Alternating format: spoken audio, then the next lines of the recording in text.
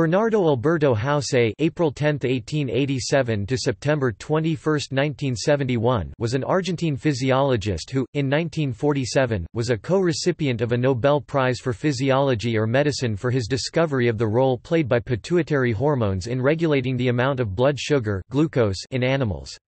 He was the first Latin American Nobel laureate in the sciences.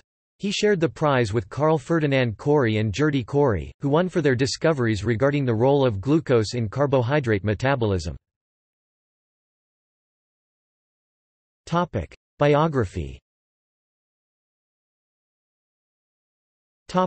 Early life Bernardo Alberto Houssay was born in Buenos Aires, to émigrés from France, Albert and Clara Houssay. A precocious youngster, he was admitted to the pharmacy school at the University of Buenos Aires at 14 years of age and subsequently to the medical school of the same university from 1904 to 1910, beginning when he was only 17 years old. While a third-year medical student, Houssay took up a post as a research and teaching assistant in the chair of physiology.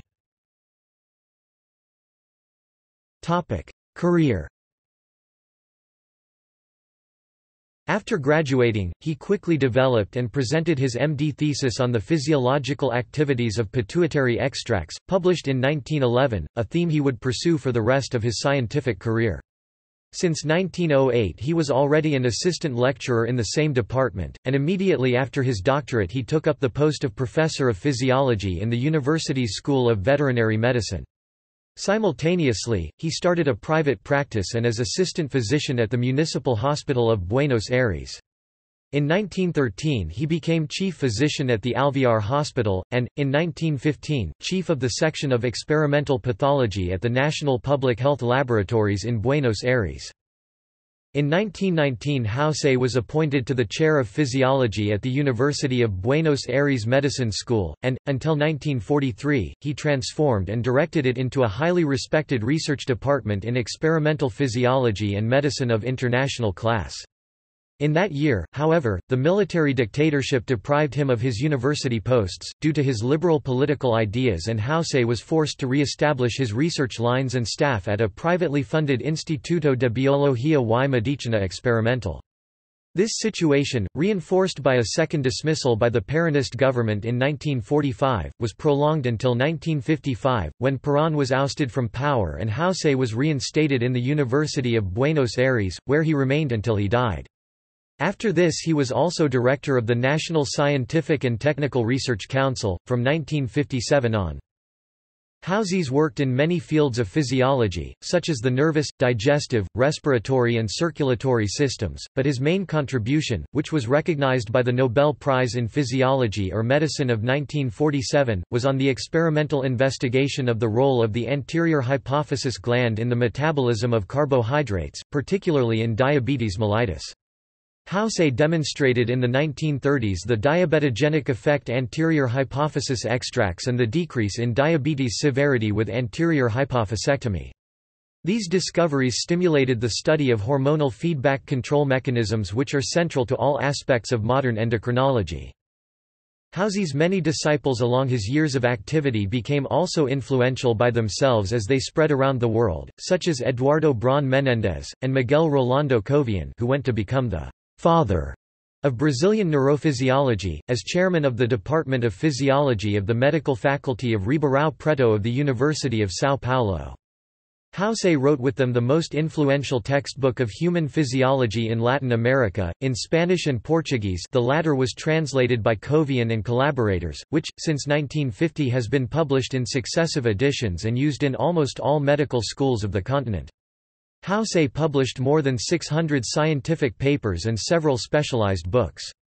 Besides the Nobel, Houssay won many distinctions and awards from the universities of Harvard, Cambridge, Oxford and Paris and 15 other universities, as well as the Dale Medal of the Society for Endocrinology in 1960. Houssay was also very active as a scientific leader and promoter of the advancement of scientific research and medical education, in Argentina as well as in Latin America. Houssay was elected a foreign member of the Royal Society in 1943. References Further reading Functions of the pituitary gland. Boston, 1936. The Hypophysis and Secretion of Insulin.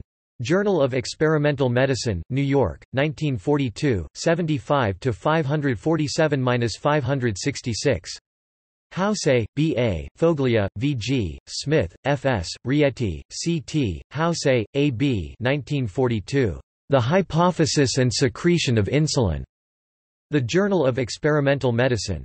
75 5, 547-66 doi 10.1084 jem 75.5.547 PMC 2135268 PMID 19871205 Escritos y discursos. Buenos Aires 1942 The role of the hypophysis in carbohydrate metabolism and in diabetes. Nobel Prize Lecture 1947 Physiologia Humana. Buenos Aires, 1950. Official site of his life and works in Castilian Bernardo Alberto Houssay. Humamedit. Bernardo Alberto Houssay Biography. Nobel Foundation External links